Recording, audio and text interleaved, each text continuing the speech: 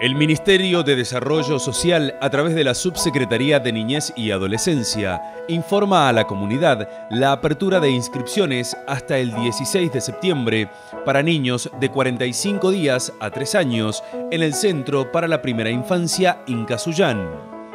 Los interesados deberán dirigirse a las oficinas ubicadas en Benjamín de la Vega 221 en el horario de 9 a 12, acompañado de la siguiente documentación fotocopia de DNI del grupo familiar, fotocopia de DNI de los tutores, fotocopia de la partida de nacimiento del niño o niña a inscribir, fotocopia de la libreta de salud del niño o niña a inscribir, certificado laboral de los tutores, certificado de domicilio de los tutores.